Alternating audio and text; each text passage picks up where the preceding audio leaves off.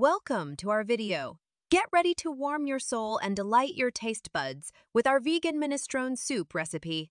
This hearty and nourishing soup is a celebration of vibrant vegetables, wholesome beans, and aromatic herbs all simmered to perfection in a flavorful tomato-based broth. Let's dive into the video. Wait! Before starting the vegan meal plan video, I introduce you with Alpilean, which will help you to lose weight naturally. For more details, click the link in the video description below. Ingredients 1 onion chopped, 2 carrots diced, 2 celery stalks chopped, 2 cloves garlic, minced 1 can diced tomatoes, 1 can kidney beans, drained and rinsed 1 cup small pasta AG, elbow macaroni, 6 cups vegetable broth, 1 teaspoon dried basil, 1 teaspoon dried oregano, salt and pepper to taste.